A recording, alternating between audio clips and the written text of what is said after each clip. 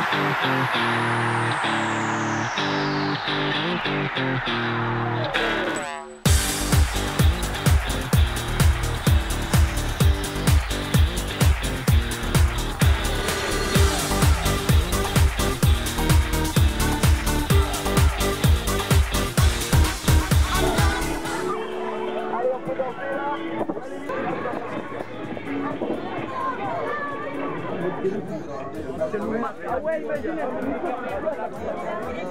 Alors pour euh, le prochain jeu, donc euh, le lancer de balle, donc le principe c'est de remplir le ballon de baudruche à l'aide de ces jerrycans, de mesurer la taille du ballon de baudruche à l'intérieur de cette petite soucoupe une fois validé.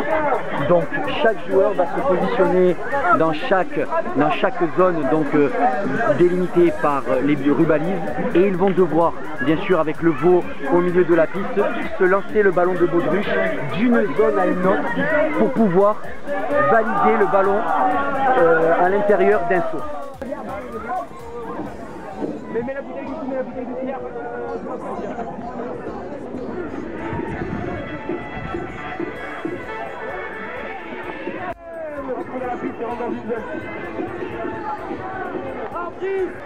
On va compter les ballons.